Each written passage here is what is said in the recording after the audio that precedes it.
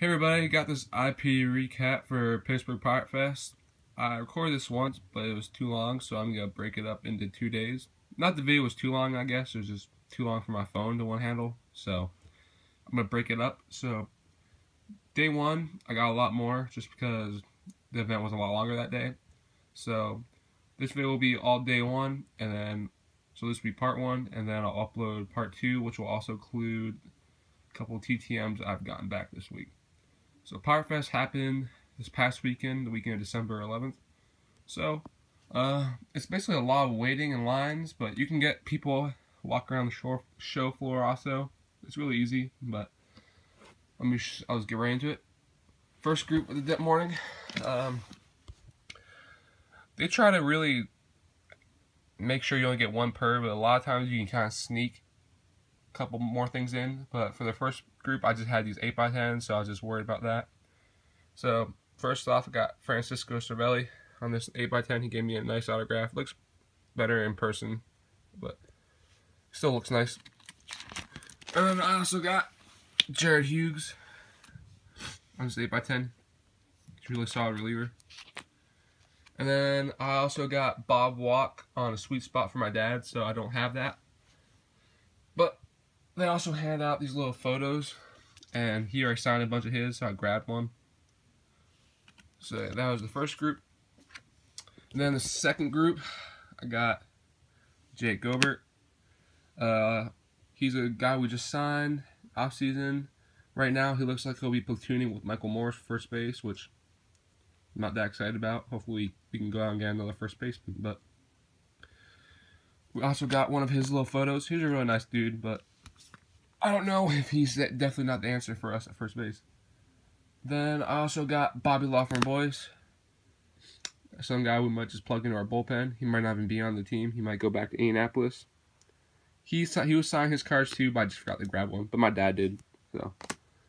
And then the big person in that group that I was super, super, super, super excited to get. I've gotten him before, but I got Bill Mazeroski on this 8x10. The photo of him hitting the game-winning home run in the Game 7 of the 1960 World Series. And he has a great autograph. But people were getting him to sign a bunch, so got him also signed this card. I believe that's a 19... Yeah, 1966 card. So, that's sweet. Really happy about that. He's probably my favorite part all time. And then after that, we, my dad and I, we walked around the show for a little bit and uh, Jared Hughes got him again. He just got off the radio doing an interview, so I got him to sign again. Then saw Bob Walk again, so I got him to sign these two cards. Bob Walk's a really nice guy. Then also I saw Pirates pitching coach Ray Searage. Hadn't gotten him before, so really nice to get him. He's a great pitching coach for the Pirates. And he was a decent player, so happy about that. Then also I got Pirates third base, no, first base coach now, Nick Leyva. Used to be a former manager for Phillies. So happy about that. Hadn't gotten him either. Actually hadn't gotten any of the Pirates coaching staff except for Hurdle before. Then I got three from uh, third base coach Rick Sofield. It's kind of confusing. Sofield and Leyva switched last year, so Sofield was coaching first base, and then last year they switched. So, a little interesting. I don't know why they did that necessarily, but he's really easy to get. I just never had cards for him. He walks to the stadium every day, so I see him a bunch. Just finally got cards for him, so that's nice. Finally get him. Then also I saw Clint Hurdle walking around. Clint Hurdle's a really nice guy. He signs pretty much for everyone. So that's nice to get him. Then got back in line for the next autograph group. Got Kevin Young on this one card. And I also grabbed one of his cards that he pre-signed. Then I got Rob Scahill. Um, normally I have blue Sharpies, but he was talking about the photo because he liked it a lot. And when I noticed he's already signing it in a kind of crappy black Sharpie, but still looks nice. It's not the best autograph, just because of the Sharpie, but it still looks nice, so I didn't really worry about it. Also grabbed one of his cards that he signed, so he'll probably be in our bullpen this year. And then also in that group, the main reason for this group, uh, 2014 All-Star, Josh Harrison. I forgot to add him, add, uh, forgot to ask him to add that. My dad did on his sweet spot that he got of him. Jay's pretty alright about signing. He used to be really good. Now he's kind of eh, just because he's been more popular.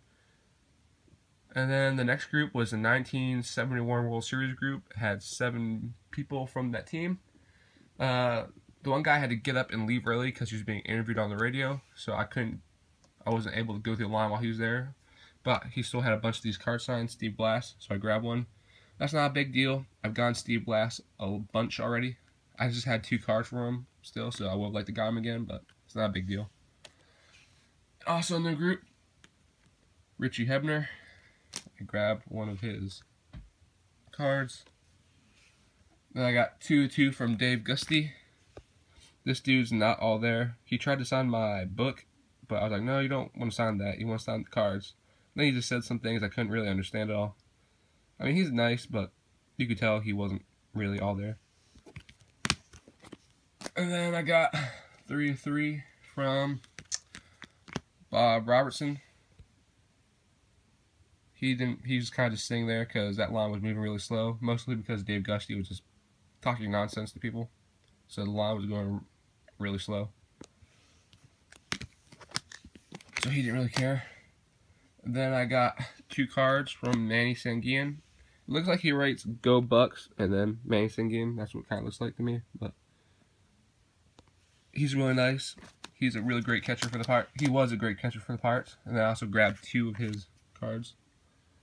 Yeah, he had like he had so many of those signed already. Then I also got Dave Cash on his card and two cards. So yeah, never had Dave Cash before. Sounds nice. Then I got three of three from Al Oliver. He signed in black sharpie, but uh, it's not a big deal. I've gotten him a bunch already. He was a great player. So three three from Al Oliver. And I also grabbed one of his cards.